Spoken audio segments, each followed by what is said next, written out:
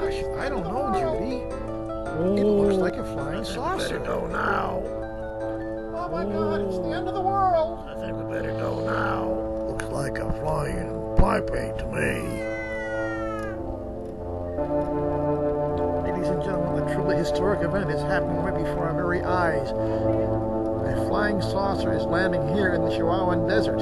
It's, it's approaching now. Yes, it's, it's, it's settling down. And, oh, there's a ray coming out of the bottom of it. Apparently some kind of a landing beam.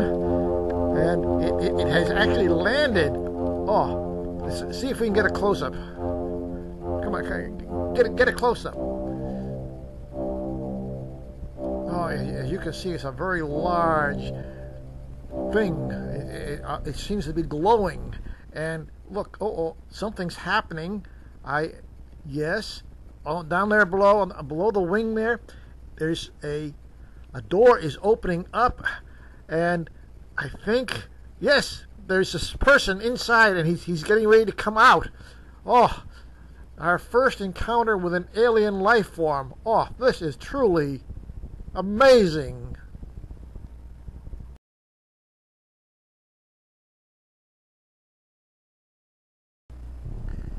Greetings, Earth peoples.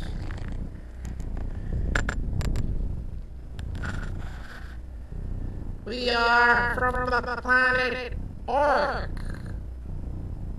Is this Texas? We wish to be winter Texans. Can you direct us to a resort where we may park our uh, RV?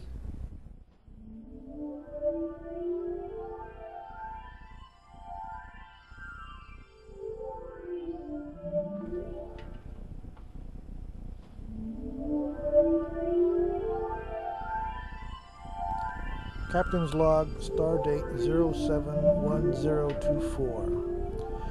We are in orbit around the fifth planet of the star N631 in the outer limb of galaxy 088.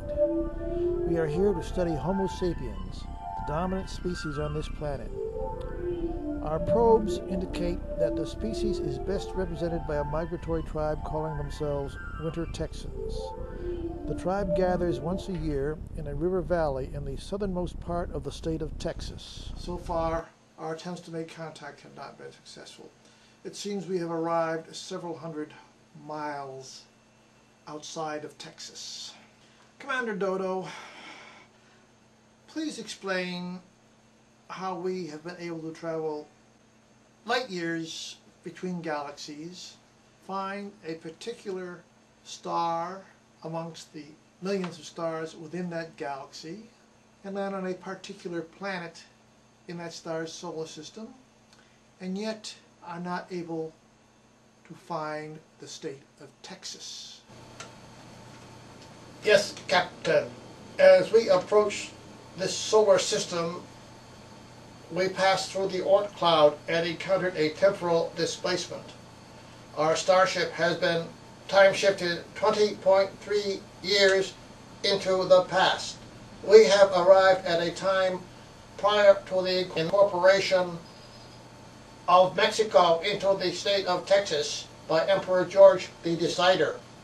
In this time period, George W. Bush is still president and has not yet declared himself emperor. Captain Gok, sir, we are on approach for San Benito, Texas. Very good, Lieutenant Wolf. Go to yellow alert. Attention all decks. We are now on yellow alert. Repeat, all decks. We are now on yellow alert. I have made contact with Big Tex RV Park, sir. On screen, Lieutenant. Big Tex RV Park. This is Paw Tech speaking.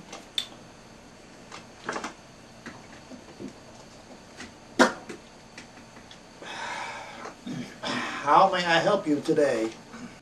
I bring you greetings from the planet Orc. I am Jean-Luc Gok, captain of the Orc Federation starship Pi-Plate. This is my staff. Commander Dodo, Lieutenant Wolf, and my first officer, Commander Cutie Pie. We wish to visit with you to learn about winter Texans and study your customs. And how long will you be staying? Oh, three rotations of your lunar satellite should be sufficient.